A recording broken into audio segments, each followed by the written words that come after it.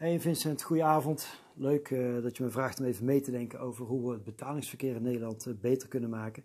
Je vraagt op het juiste moment, want op dit moment ben ik bezig met een rondreis in China. Samen met het gezelschap van Shopping Tomorrow, een organisatie van thuiswinkel.org, zijn we met zo'n 50 retailers op zoek naar uh, de antwoorden hoe wij efficiënter en beter onze shops kunnen runnen hoe we uh, logistiek beter voor elkaar kunnen krijgen, online marketing slimmer kunnen doen, maar ook met name uh, betalingsverkeer slimmer kunnen maken. En dat doen we door te kijken hoe dat ze het hier in China voor elkaar hebben. Uh, ze zijn hier met veel Chinezen, ze hebben hier veel goede ideeën, ze hebben hier veel uitgeprobeerd. Ze hebben geen last van de wet van de remmende voorsprong, dus er ligt hier eigenlijk weinig infrastructuur vanuit het verleden, waar wij in Nederland wel last van hebben eigenlijk. Hè. Ehm, ze kunnen hier daardoor sneller nieuwe dingen toepassen.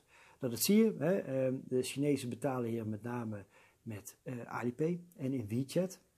Geruisloos, frictieloos in uh, shops wordt er, uh, worden QR-codes gescand en kun je in, in WeChat met een paar klikken een, een product kopen. dat is, die adoptatiegraad is erg groot onder de Chinezen. Um, als je kijkt in Hongkong, hier een paar kilometer verderop, ik zit momenteel in Shenzhen.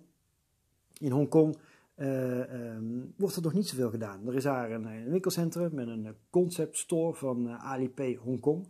Waar ze eigenlijk die mensen in Hongkong nog aan het uitleggen zijn hoe je met een QR-code moet betalen. Dat had ik niet verwacht. maar hoe komt het nou waarom dat, dat in Hongkong nog niet zo doorgedrongen is? Ook weer door die wet van die remmende voorsprong. Ehm, de inwoners van Hongkong hebben allemaal een octopuskaart waar ze mee betalen. En dat werkt in principe goed genoeg voor hen. Uh, dus de, de, populariteit is daar nog niet zo ver als in, eh, in China. Nou goed, dat kun je eigenlijk doortrekken naar Nederland. Uh, bij ons is de populariteit van QR-codes ook nog niet hoog. Um, ik denk wel dat het kan komen. We moeten goed nadenken over hoe we met mooie merken mooie cases in de markt kunnen gaan zetten. Om betalen met QR meer mainstream te gaan maken. Ik denk dat dat een opdracht is uh, voor, uh, voor bedrijven zoals ons, uh, die de technologie ontwikkelen en de klanten bedienen, maar ook de vereniging, betaalvereniging bijvoorbeeld, kan daarin meedenken over hoe we grote merken kunnen, kunnen motiveren om QR-betaling in te zetten. Uiteindelijk, als die bekendheid groeit bij de, bij de klant, bij de consument, dan, dan zal die adaptatie wel komen. Belangrijk is om te beseffen dat we naar het tijdperk toe gaan waarbij we geen checkout meer hebben en waarbij we geen kassa meer hebben. Uh, een checkout, een kassa in een winkel, dat zijn onnodige handelingen die onnodig tijd kosten, die onnodige foutkansen opleveren, uh, die eigenlijk vanuit een technisch oogpunt totaal niet nodig zijn. Hoe de toekomst eruit ziet, is je gaat naar de winkel, je pakt je producten en je loopt de deur uit. Uh, ja, de winkel weet wie je bent. Ja, je bent een keer een KYC-proces doorgelopen, hè, dus uh, Know Your Customer proces. De winkel vertrouwt jou, heeft ook alle reden om jou te vertrouwen, omdat je geen misbruik maakt van het systeem. Nou, op het moment dat we uh, daar zijn aangekomen, dan, uh, dan kunnen we zeer veel betaalgemak uh, toe geven aan, aan de consument. Um, die toekomst kan nog wel eens sneller komen dan je denkt. vanuit CM zijn we ook zelf met een aantal concepten bezig die in de praktijk worden gebracht om ehm, te kijken hoe dit, hoe dit werkt en hoe dit valt bij, bij consumenten. Um, ik hoop dat we daar snel meer, meer over kunnen gaan aankondigen.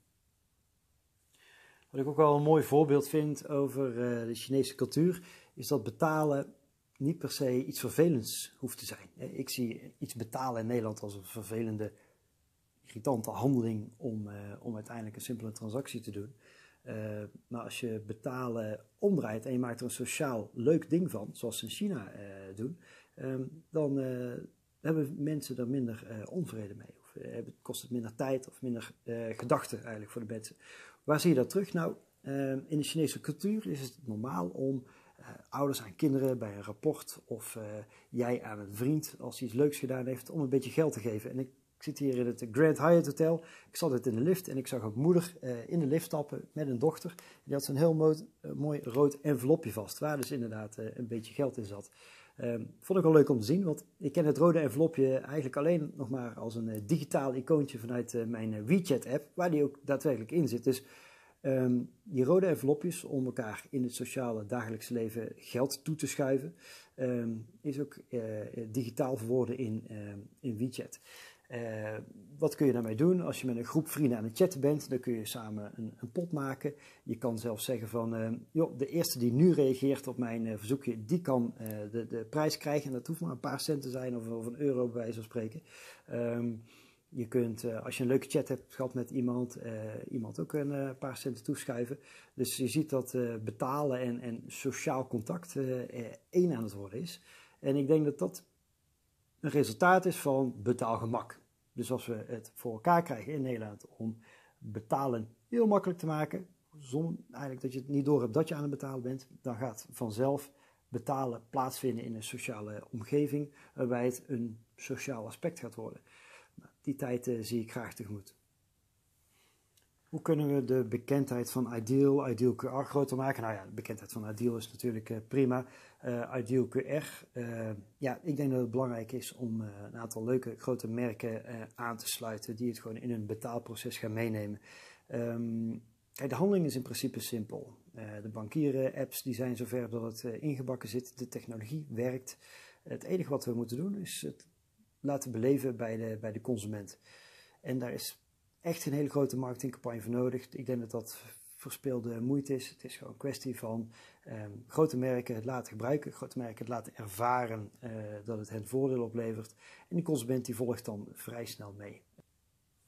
Een ander mooi voorbeeld zou zijn als bijvoorbeeld uh, Samsung zijn uh, scanner zijn, zijn, eh, zijn, fotocamera zou kunnen uitrusten met een eh, QR-code scanner, zoals eh, de iPhone al gedaan heeft. Um, dan krijgen we nog meer uh, acceptatie, denk ik, van het, uh, het kunnen scannen van een uh, QR-code. Nu blijft het nog een beetje een drempel om een scan-app te downloaden om een QR-code te scannen, um, als je geen, geen bankieren-app hebt. ook zien we dat er meerdere oplossingen komen naast Ideal QR, zoals Kaching of um, andere voorbeelden. Het is goed dat er een ecosysteem komt waarbij meer en meer die QR-code, denk ik, in het straatbeeld verschijnt. En dat uh, mensen er gewoon mee worden. Ja, een ander punt over adaptatie van nieuwe betaalmethoden is, je moet het ook gewoon een beetje tijd geven. Um, consumentengedrag verandert niet op één dag. Ja, het is, kan echt een paar jaar duren. Is ook niet per se erg. We hebben de tijd, denk ik. Het gaat zo snel als dat de consument het wil. Um, dus laten we gewoon zorgen dat het product goed is, dat het goed werkt, dat we mooie voorbeelden krijgen. Uh, dan, dan, gaan we die adaptatie zeker zien. Wat kan een betaalvereniging verder doen um, in zijn functie? Um, ik denk wat, wat, belangrijk is, is dat uh, met de toekomstige ontwikkelingen van PSD2, nieuwe betaalmethoden, dat we vooral denken vanuit een ecosysteem. Als ik kijk hier in China, al die grote succesverhalen zijn gebaseerd op een goed functionerend ecosysteem. Um, een ecosysteem gaat verder dan alleen een technische mogelijkheid. Dat betekent dat er nagedacht wordt over een systeem waarin alle spelers een soort van rol hebben, waarbij men elkaar helpt in het ecosysteem, waarbij er op een eerlijke manier plek wordt, uh, op een eerlijke manier op de juiste plekken geld wordt verdiend bij de spelers in het ecosysteem. Uh, zodat er een gezonde business uh, kan ontstaan. Een mooi voorbeeldje daarvan is JD.com. een gloednieuwe, mega, mega handelsplatform hier in China. Een paar jaar geleden bestond het nog niet en het is nu eigenlijk qua omzet al groter dan, dan Alibaba. Wat zij doen is um, als ecosysteem met de merchants nadenken van oké, je mag op onze website een mooie winkel openen.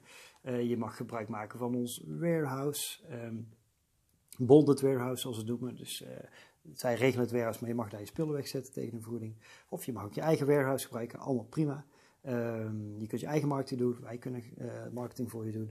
Nou, dat soort zaken zorgt wel voor dat er samen gewerkt wordt naar een, naar een succes. Nou, als we dat terugzetten naar um, de kansen die er liggen in, op het gebied van betalen in Nederland, dan denk ik dat het belangrijk is dat alle bloedgroepen um, goed samenwerken met elkaar en ieder in zijn sterkte waarde toevoegt om, uh, om betaalgemak te realiseren uh, en inzichten te realiseren voor de consument. Dus banken, technologieproviders, merchants, ehm, die allemaal hebben een rol. En als we een ecosysteem kunnen vormen met elkaar waarbij we elkaar, elkaar sterk snappen en elkaar sterkte kunnen gebruiken van elke bloedgroep, dan denk ik dat we uh, kans van slagen hebben om er iets van te maken. Moeten we gewoon doen, toch?